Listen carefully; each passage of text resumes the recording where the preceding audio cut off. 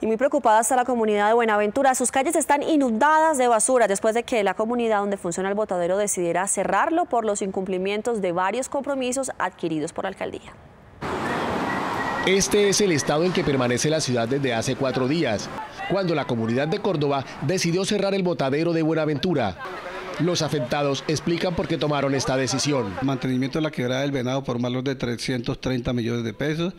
Eh, la construcción de un muro de protección de la quebrada del Venado vale 1.500 millones de pesos. La compensación forestal por valor de 750 millones. Mientras tanto, los habitantes de Buenaventura no entienden por qué tienen que convivir con estas basuras y soportar los malos olores. No, le cuento que esto es un caos, tremendamente. Ahora venía y miraba cómo, por ejemplo, hay sitios de comida y todo, y al lado está completamente lleno de, de, basura. Es algo terrible, terrible. La verdad que malos olores en toda la ciudad y todo perjudica el medio ambiente.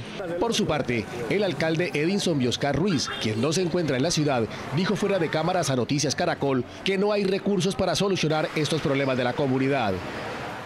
Hasta tanto no se le cumplan los compromisos a la comunidad de Córdoba, donde queda el botadero, los sitios emblemáticos de la ciudad como el Boulevard seguirán así, llenos de basura.